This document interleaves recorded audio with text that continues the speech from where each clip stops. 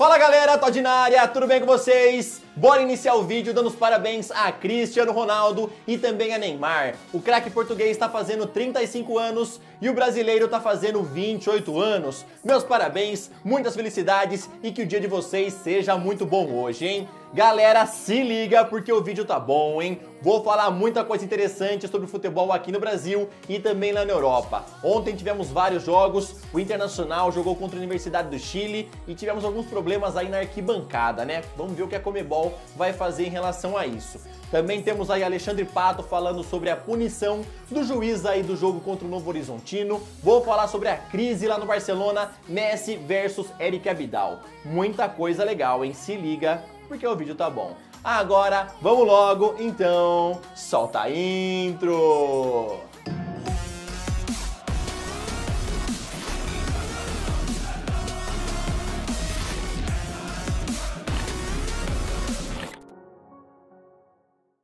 Ontem, pelo Campeonato Pernambucano, o Sport empatou com o Retrô em 1 a 1. Pela segunda fase da pré-Libertadores, ontem o Internacional empatou em 0 a 0 com a Universidade do Chile e na próxima semana precisa de apenas uma vitória simples lá no Beira-Rio para avançar para a próxima fase. O jogo ontem foi muito tenso no final, mas não foi dentro do gramado e sim na arquibancada. Tivemos invasão, incêndio e confronto com os policiais. Tudo isso com bola rolando. Agora, sinceramente, eu quero ver o que a Comebol vai fazer em relação a isso, hein? A gente sabe que quando é com os times brasileiros, a Comebol vai lá, pune, ferra, faz o possível. Eu quero ver agora o que, que vai acontecer com a Universidade do Chile em relação a tudo isso, mano. Até incêndio lá na arquibancada. Pelo amor de Deus, hein? Vocês acham aí que a Comebol vai fazer alguma coisa ou não vai fingir que não viu? Lá no Maracanã, o Fluminense empatou em 1 a 1 com Union La Calera pela Sul-Americana. Evanilson marcou aos 71 minutos e 3 minutos depois, Castellani empatou o jogo. No jogo de volta, os chilenos levam vantagem, já que precisam de apenas um empate em 0 a 0 em casa para avançar. Rogério Ceni está próximo de virar cidadão honorário lá em Fortaleza. A vereadora Cláudia Gomes apresentou um projeto para dar o título ao treinador. Segundo o texto dela, ele merece isso por contribuir com economia, turismo e entretenimento lá de Fortaleza, além do título da Série B e também Copa do Nordeste.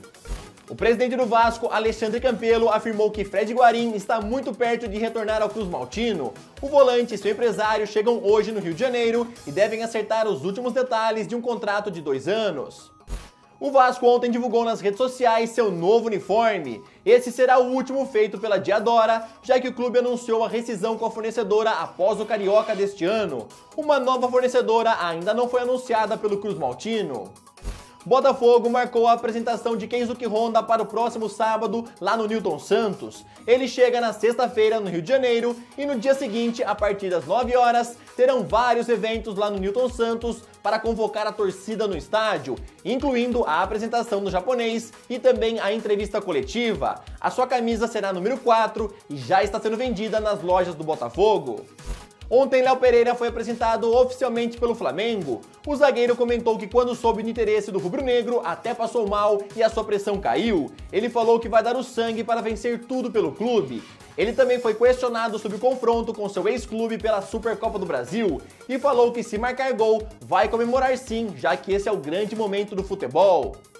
Alexandre Pato falou sobre a punição da Federação Paulista de Futebol com o árbitro Flávio Roberto, que errou muito no jogo do São Paulo contra o Novo Horizontino, inclusive anulando dois gols do próprio atacante erroneamente.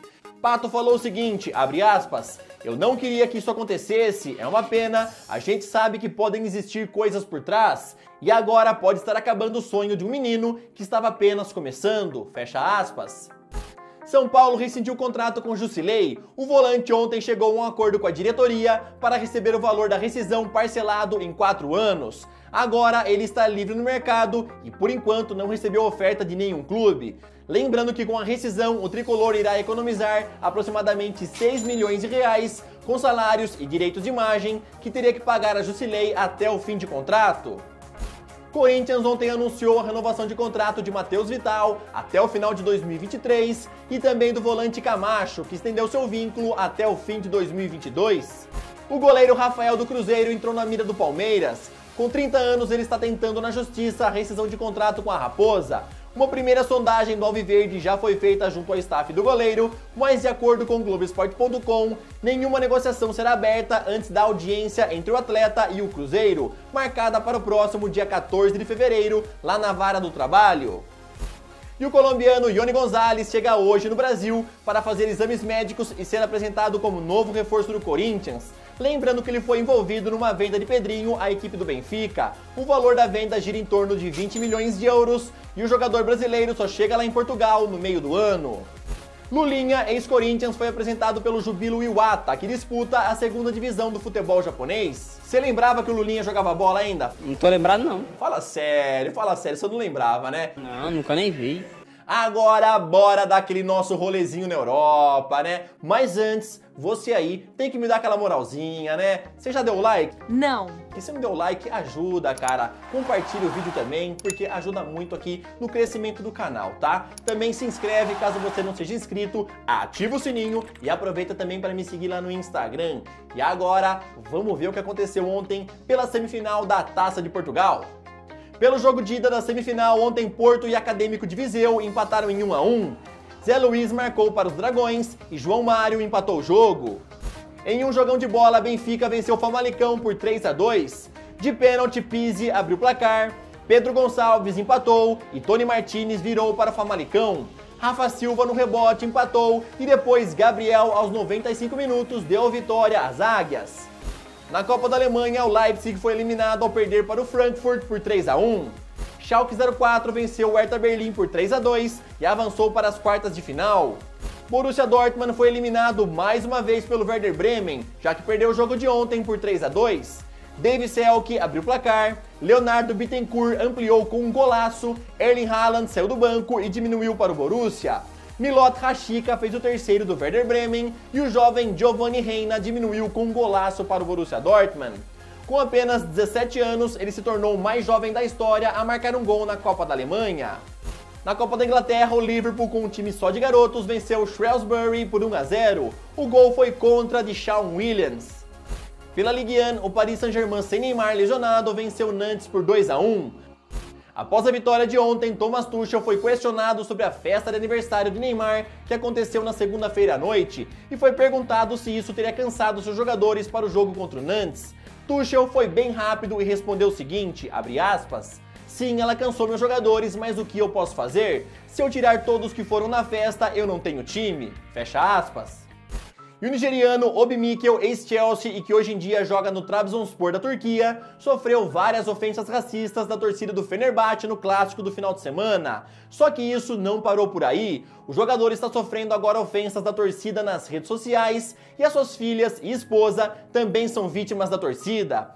O Trabzonspor já registrou a queixa na polícia contra os agressores e Obi Mikel desabafou muito triste falando porque até as minhas filhas agora, elas só têm 4 anos de idade.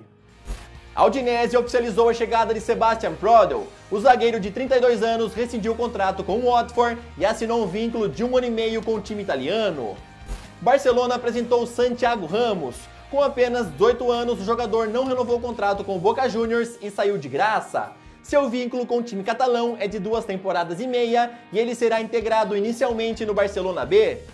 Manchester United apresentou o experiente Igalo de 30 anos. O atacante veio do Xangai Shenhua por empréstimo até o fim da temporada e nos Red Devils ganhou a camisa 25. E os torcedores da Juventus receberam uma boa notícia. Ontem, Chiellini retornou aos treinamentos com o resto do elenco ele não joga desde agosto, quando sofreu uma ruptura dos ligamentos, e a ideia de Maurício Sarri é utilizá-lo no próximo dia 1 de março contra a Inter de Milão.